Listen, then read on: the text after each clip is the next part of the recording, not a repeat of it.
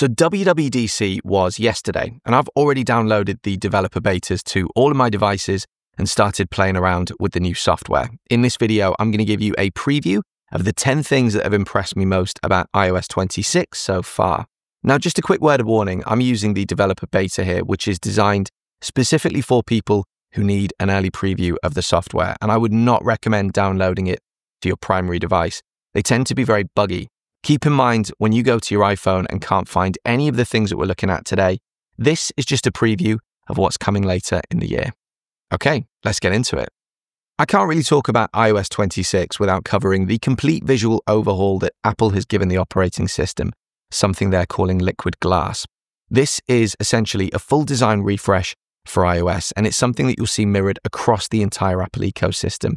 So whether you're on a Mac, an iPad, an Apple Watch, Apple TV, or even Vision Pro, you'll see a consistent design language.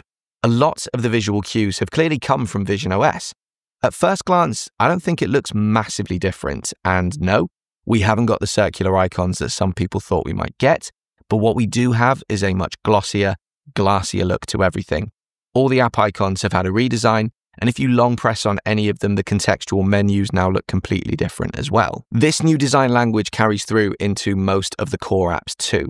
One thing I did notice, especially in light mode, is that search bars and certain elements, like those now anchored to the bottom of the screen, don't always stand out very clearly against the background.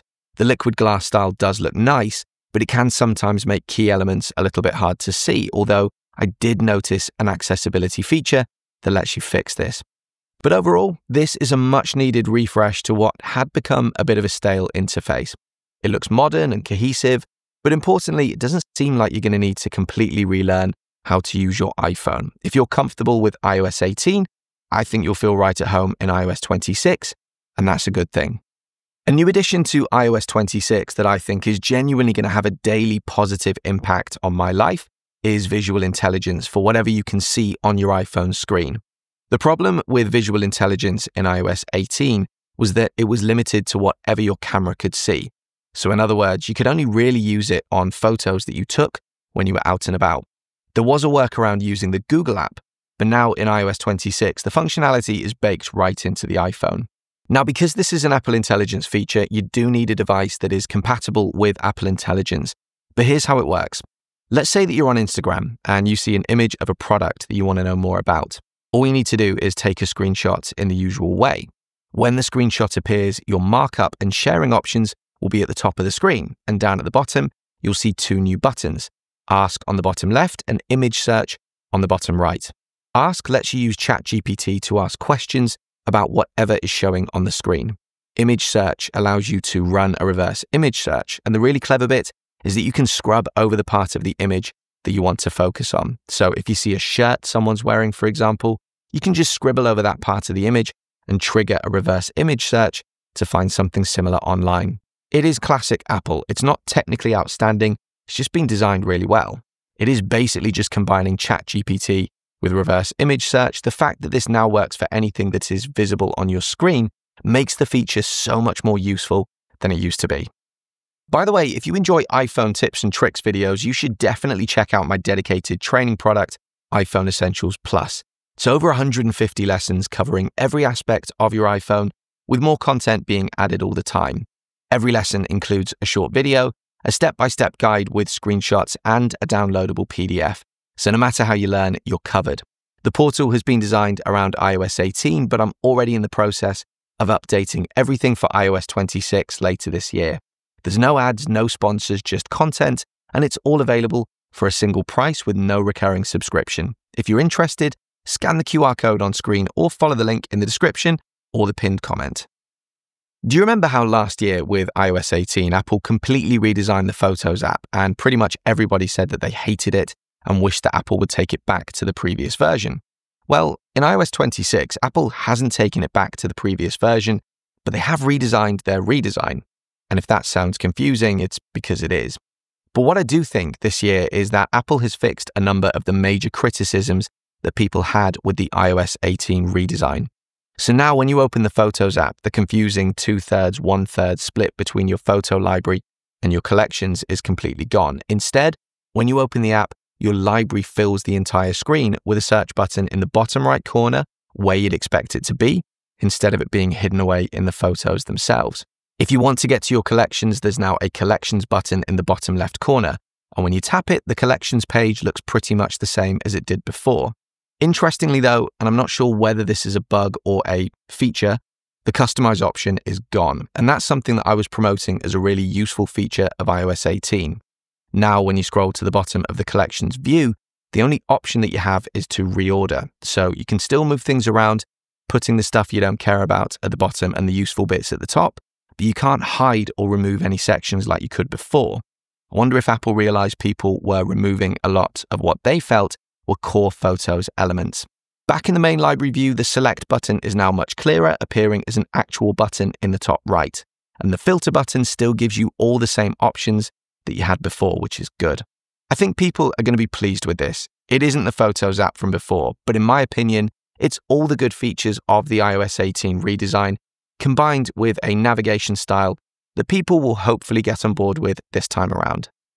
Another Apple Intelligence feature that's been added to iOS 26, which may not sound all that exciting, but is definitely going to be really useful, is the ability to create a calendar event directly from an image using visual intelligence. Essentially, you can just point your phone at something like a dentist appointment card or a poster on the wall, and your phone will scan the image. If it recognizes that the information could be used to create a calendar event, you'll see an Add to Calendar button appear. Tap this, and your phone will take an image and then show a preview of the calendar event it wants to create. You can hit Edit if you want to check or change any of the details, or just tap Create Event to add it straight away. In my early testing, this has worked really well, even picking up addresses and other useful information.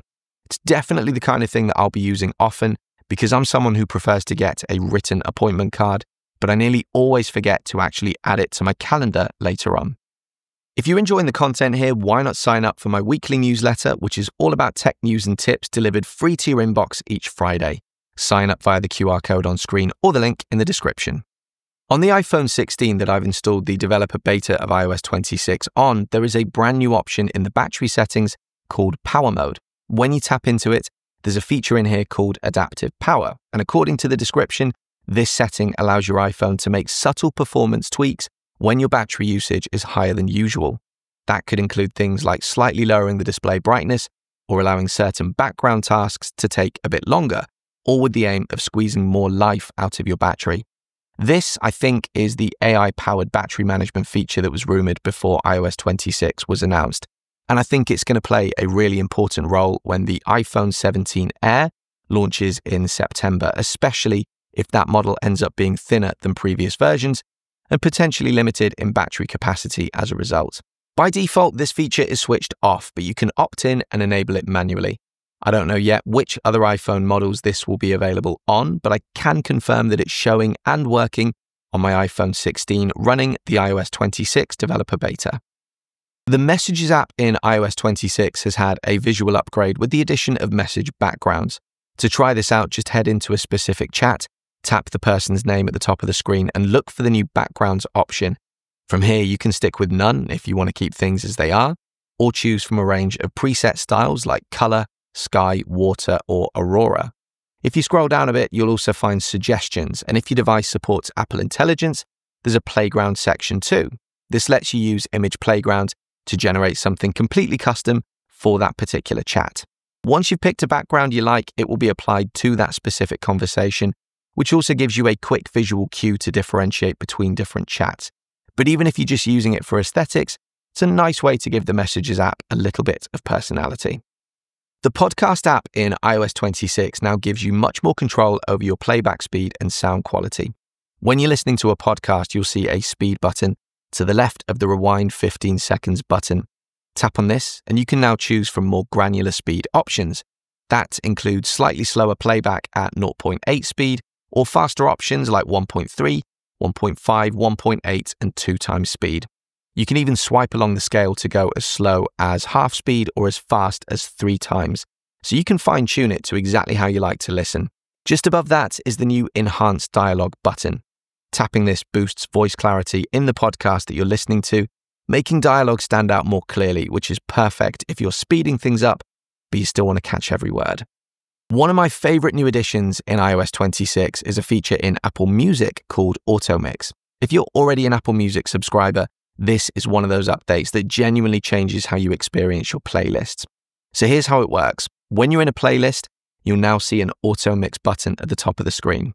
Turn that on, and your iPhone will use artificial intelligence to automatically blend the end of one track into the start of the next, just like a DJ. It can slow down or speed up the tempo of songs match beats between tracks, and create smooth transitions between them. So far, I've been really impressed with this, and if I were a Spotify user, this is the kind of feature that might make me think about switching. One small but very welcome change that I noticed in the Maps app is the ability to share guides with other people. This is something that users have been requesting for ages now, myself included. The one thing I'd really love to see is proper collaboration so that multiple people could contribute to a single guide. That isn't available just yet, but the fact that we can now share them is definitely a step in the right direction.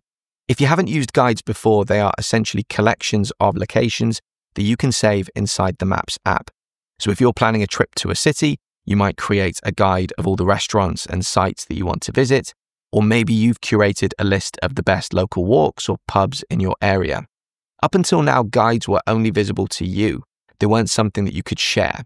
But now, if you tap into a guide, there is a share icon in the top left corner. Tap this, and you can share your guide with anyone using the usual methods like messages, mail, or airdrop. A small but very useful feature added in iOS 26 is the ability to create a new reminder using the action button. I honestly thought this was already possible in a previous version, but apparently not. So, if you've got an iPhone 15 Pro or any of the iPhone 16 models, you can now assign the action button to open straight into a new reminder. This is perfect for those moments when you want to jot something down quickly without opening the app or using Siri. To set this up, just go into Settings, choose Action button, then scroll across to Controls. Tap into the Choose a Control option, scroll down and select Reminders, then choose New Reminder. And if you don't have a phone with an action button, don't worry, you can still add this same functionality to your control center. That way, you're just a swipe away from creating a new reminder whenever you need to. So, those are the 10 features of iOS 26 that have impressed me the most so far. I'll be diving into the rest of the operating system over the next few weeks and getting plenty of content ready for when it officially launches in September. What about you? Have you tried out the developer beta yet? And if not, what are you most looking forward to based on what you've seen so far? Let me know in the comments. And as ever, if you found this video useful, consider leaving me a like and subscribing to my channel for more content like this in the future. See you on the next video.